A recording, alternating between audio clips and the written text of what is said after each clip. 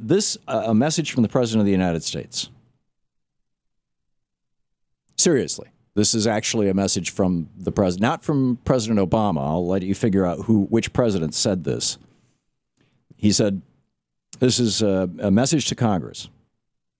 It's an actual letter that was written to Congress by the president about enforcing the antitrust laws. He said, Unhappy events abroad have taught us two simple truths about the liberty of a democratic people. The truth, the first truth is that the liberty of a democracy is not safe if the people tolerate the growth of private power to the point where it becomes stronger than their democratic state itself. That, in essence, is fascism ownership of the government by an individual, by a group, or by any other controlling private power.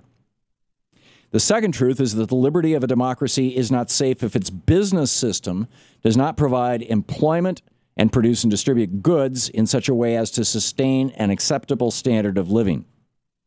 Among us today, a concentration of private power without equal in history is growing.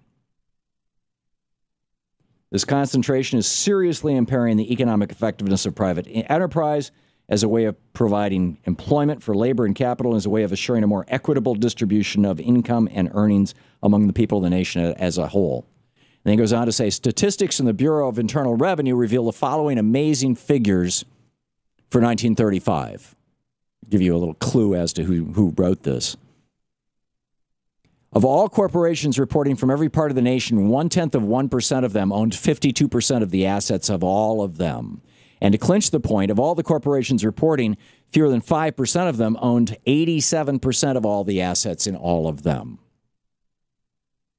One tenth of all the corporations reporting, yeah, uh, uh, okay. Oh, and, and then he says, of all the corporations reporting from every part of the country, one tenth of 1% of them earned 50% of the net income of all of them. The statistical history of modern times proves that in times of depression, concentration of business speeds up. Bigger businesses then has larger opportunities to grow still bigger at the expense of smaller competitors who are weakened by financial adversity.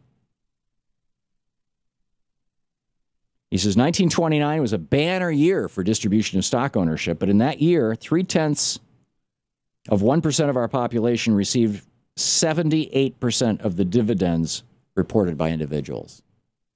Is this starting to sound familiar? I mean, this is the, this is like Bernie Sanders talking about today.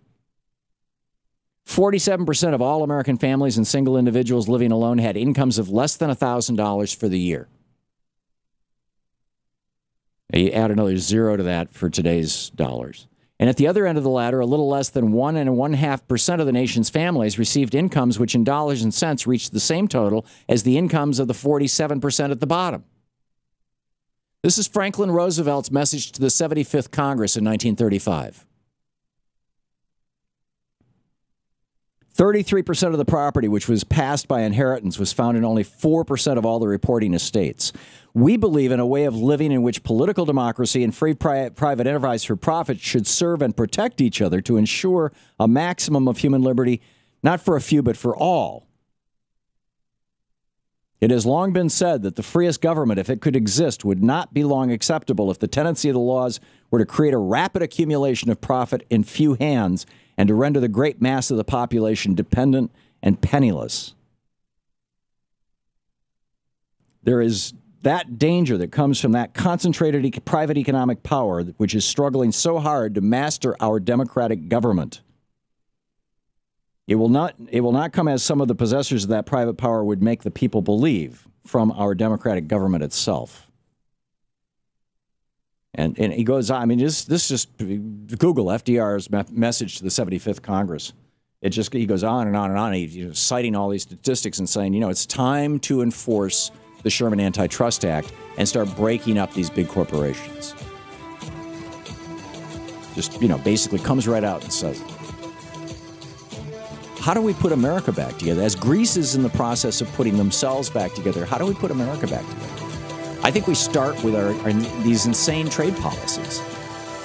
And that's why I think both Donald Trump and Bernie Sanders are doing well, because they're both talking about insane trade policies. You're listening to the Thom Hartmann program. Call 202 536 2370. There's a contrast, though. Donald Trump has the solid lock on the racist vote, whereas Bernie, back in the 60s, got arrested when he was working with CORE in Chicago.